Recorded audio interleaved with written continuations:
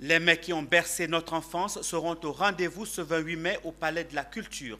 C'est l'information donnée par la commissaire générale du festival Les Goûters de mon enfance lors d'une conférence de presse. Une idée de l'ONG Cagnemin, appuyée par l'UNESCO, qui a pour ambition de valoriser l'art culinaire ivoirien. Le compte rendu de Ange Assémian et Marius Seri. La date est connue. Ce samedi 28 mai au Palais de la Culture de Trècheville se tiendra la quatrième édition du festival Les Goûters de mon enfance.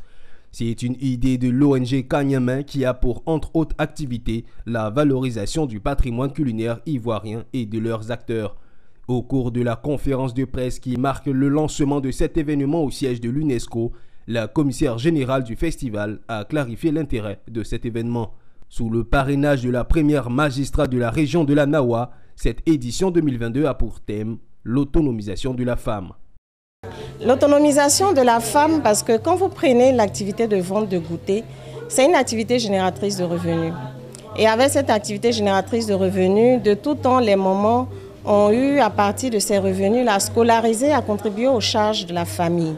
Mais il se trouve qu'aujourd'hui, nous devons faire plus. Le Tratra l'aller-retour, les beaux-flotos, ce pan culinaire de notre pays tendra à disparaître de notre vécu quotidien au profit des mets occidentaux. Lancé en 2018, le festival de partage des mets locaux de notre enfance a des retombées positives remarquables. Le bilan est positif, il est encourageant. Il est encourageant dans la mesure où le complexe euh, qu'on constatait au niveau de la consommation des mets, ce complexe est en train d'être brisé, puisqu'aujourd'hui, on voit lors des thèses c'est ces mets-là qui sont proposés.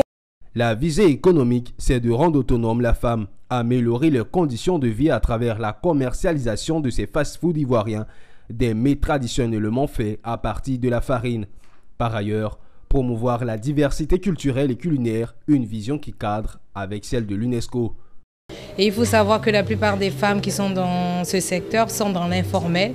Donc aujourd'hui, en tant que mère, c'est de prendre en compte aussi ces femmes-là qui euh, vendent des beaux photos, de la loco et tout, dans nos différents quartiers, et d'en faire des activités pérennes.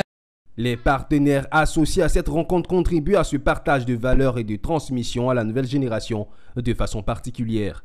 Nous avons donc participé donc à ce que le, le festival connaisse une réussite parce que les dames étant bien formées, elles vont donc livrer les portes du Palais de la Culture s'ouvriront ce 28 mai à partir de 9h. Rendez-vous est donc au prix pour déguster les plats de notre enfance.